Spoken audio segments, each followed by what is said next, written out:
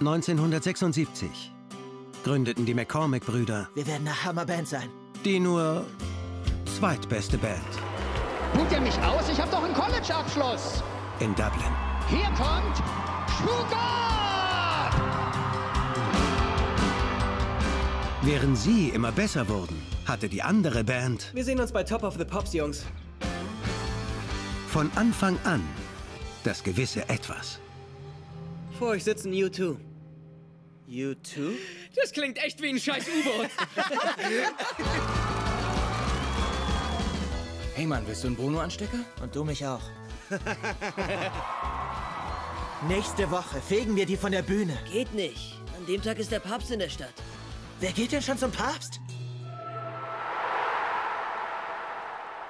Ich fass es nicht.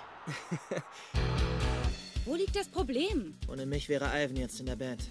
Wir wollen deinen Bruder als Rhythmusgitarre. Hast du vergessen, Mann? U2? Wow.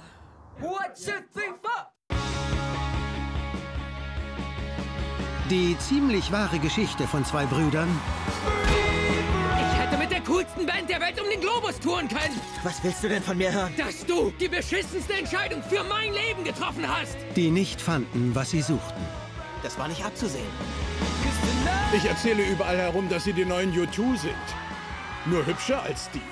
Und schwul. Ben Barnes, Robert Sheehan, Killing Bono.